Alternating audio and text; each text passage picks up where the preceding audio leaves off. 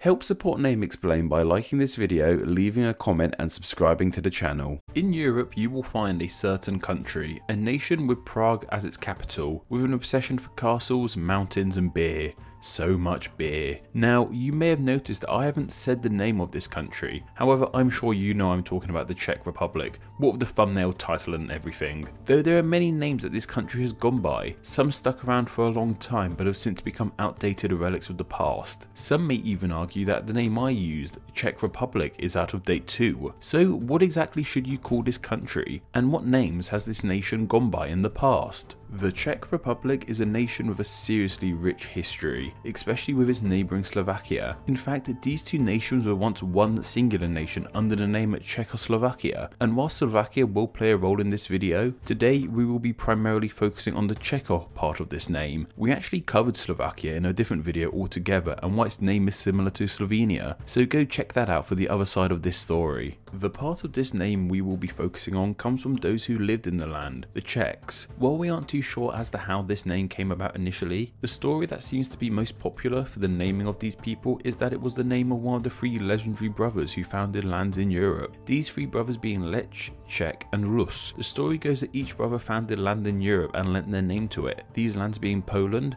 the Czech Republic and Russia respectively. So when the land of the Czechs was joined with the land of the Slovaks, their names were simply put together to form the name Czechoslovakia. And Czechoslovakia is a name I feel that people may still still name this nation, as the nation of Czechoslovakia only truly split into two separate nations in 1993. And while for some that may seem like a really long time ago, for me it's one year before I was born. To others, the majority of their lives was spent with a nation being called Czechoslovakia, so it's understandable why older people may still call this Czechoslovakia. It can be hard to shake off old habits. Now, I've kind of started this story somewhere in the middle, as while Czechoslovakia is perhaps one of the most commonly known previous names for these lands, there are names that came before it and names that have come after it, with one of the most renowned ancient names for these lands being Bohemia, which once again we looked at in a video all to itself. Bohemia is a name that once again comes from the people who lived there, the Celtic Boii tribe. However, Bohemia wasn't alone in forming or going to become the Czech part of Czechoslovakia, as there was also the historic regions of Moravia and Czech Silesia. These three regions together made up an area of the world what are now known as the Czech lands, and seem to more or less form the modern borders of the the Czech Republic. The region of Moravia got its name through the river that runs through it, the Morava. The name at Silesia isn't too clear, it may have come from the name of a Germanic people who lived in the area. The reason this is specifically called Czech Silesia however is due to this being just the Czech part of Silesia, a historic region that overlapped the Czech lands and other nations. Also bonus tangent etymology, apparently it's from Silesia that we got the word sleazy from. Apparently sleazy originally meant fuzzy and the theory goes that a type of fuzzy fabric was made in Silesia so this fuzzy fabric was described as being sleazy as it came from Silesia and the word just stuck around and changed meaning. As time went on, the Czech land and their neighbouring Slovakia became part of the Austro-Hungarian Empire, which they stayed a part of all the way until 1918 when this empire collapsed in the fallout of the First World War. It was after this that the nation of Czechoslovakia formed, which we talked about at the start of this video. This initial iteration of Czechoslovakia lasted till 1939. It was this year that the Munich Pact was signed between Germany, Italy, France and the UK, which held off war but gave Czechoslovakia to Germany. Initially it was only meant to be one small part of Czechoslovakia but eventually those who should not be named due to YouTube demonetization took over and occupied all of the country. Under German occupation, the nation of Czechoslovakia was split into the Protectorate of Bohemia and Moravia and the Slovak Republic, with the Germans giving the Czech part of Czechoslovakia the older names we mentioned previously. Of course, with the Second World War coming to an end and the Prague Uprising taking place, Czechoslovakia Czechoslovakia soon found itself free of German occupation. It was after the Second World War that communism started to grow more popular in the nation. They even signed a friendship treaty with the Soviets to help cement communism's place in Czechoslovakia. However, this friendship turned sour when the Soviets disallowed Czechoslovakia from receiving US help. The communists wanted to control the country and this led to riots in the streets of Prague, and eventually the Soviets taking control of the nation in 1945. During this time under communist rule, once again the nation got a new name, but not too different. It was called the Czechoslovak Socialist Republic, and within this we had the Czech Socialist Republic and the Slovak Socialist Republic. What I found interesting about this is that this seems like the first time the land area that would become the Czech Republic had the word Czech in its official name. At least I think it is. I know it was formerly known as the Czech lands, but I don't know if that name was ever used officially. I'm happy to be wrong though, so let me know down below if I am. Communist rule in this country eventually came to an end in 1989 through revolution, but not the kind of revolution that you usually think of. This revolution was a series of peaceful protests and demonstrations across the nation. Perhaps the most noticeable thing about this revolution is that not a single person died due to it. It was a gentler revolution, and because of this, it became known as the Velvet Revolution, as velvet is gentle too. A playwright by the name of Václav Havel became the first person to become president post-communist regime. However, this sparked the biggest, most volatile and disastrous war to hit the nation yet, the Hyphen War.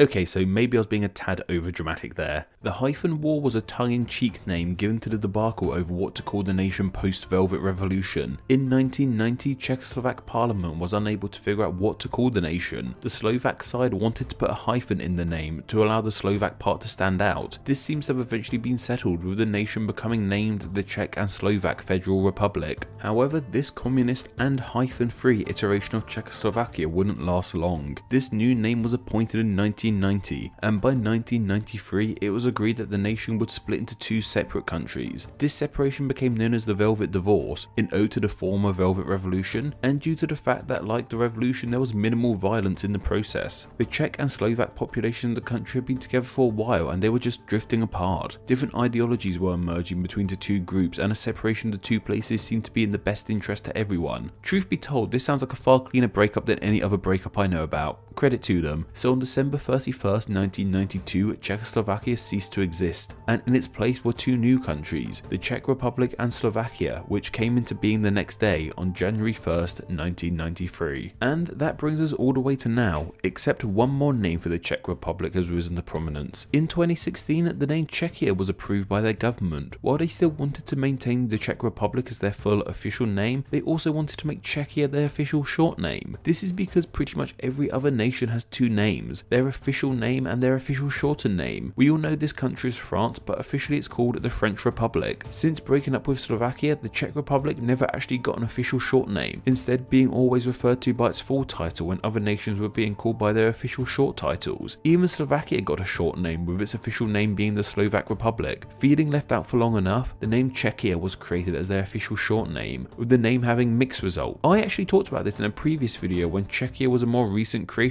It's actually crazy how often I've talked about the Czech Republic but not actually made a video about them. Sorry to my Czech viewers, I hope this makes up for it. When I talked about this back in 2017, not only did I speak like a robot still, seriously how did I sound like that? I discussed how despite it being the official name for the nation and how much the government were using it, it wasn't really catching on. Three years later however, this still seems to be the case. Well, a 2018 article at least explains the name still isn't that popular. Language is an odd beast and something you can't really control. You can demand something be called something but if no one wants to use it, it simply won't happen. Names only work when everyone accepts that it's its name, and it still seems that Czechia isn't being accepted. Though maybe I'm wrong, I'm just a guy sitting in a basement in England. People in Czechia, let me know how that name is going over there. Of course, I guess neither the Czech Republic or Czechia are their actual names, as these are merely their names in my native tongue of English. In Czech, these names are actually Česká republika and Česko. So I guess if you really want to name this nation by the correct name, you should be using one of these two. That however brings us back to the initial question I had about this. What should you call the Czech Republic? Despite all the names it has had in the past, I think it's pretty safe to say we should only really be using the Czech Republic and Czechia these days. Though, which one? Well, I guess it all depends on your view in the matter. If you want to stick with the Czech Republic or if you want to go with the new name of Czechia. I personally quite like Czechia. It gives the nation a short name like everywhere else and even gives us another ear nation to add to the map. I feel it all depends on context. If you are using countries short names then why not use the Czechia name? But if you're using long official names then maybe stick with the Czech Republic. Like I said that's my own view on it. There doesn't really seem to be a correct answer on this no matter how much the Czech government tries to make Czechia a thing. However something you shouldn't call it is just Czech. It's a pretty easy thing to do and I almost went to do this a couple times while writing this video. However Czech is more an adjective than a noun used to describe the people and the language and things from this land. It would be like saying this country is called Swedish. As I mentioned at the start of this video, the Czech Republic is a nation with a lot of history, but what I find interesting specifically about Czech history is that each period of its history seems to come with a different name for the lands. To follow the history of the Czech Republic is to follow the history of its many names, from the grand castles of Bohemia to the nation under German occupation as the protectorate of Bohemia and Moravia, to its modern place in the world, with the new modern name of Czechia. Czechoslovakia was suggested by Denis Zavada, and thanks to their suggestion, they will now be honoured as Name Explain's patron saint of Czechoslovakia. Do you have a good idea for somewhere that's name could be covered in a Name Explain video? If so, then please consider donating on Patreon. Just $1 a month helps keep the channel running and earns you a weekly chance to suggest somewhere to be turned into a video and you too could be a Name Explain Patreon saint. Before you click away, please remember that Name Explain relies on awesome people like you donating a small amount on a monthly basis over on Patreon, so a huge thank you to all the amazing people who do just this. Just $2 a month helps support the creation of two videos a week, grants you Patreon exclusive Name Explain extras, and gets your name here with all these awesome people. Thank you.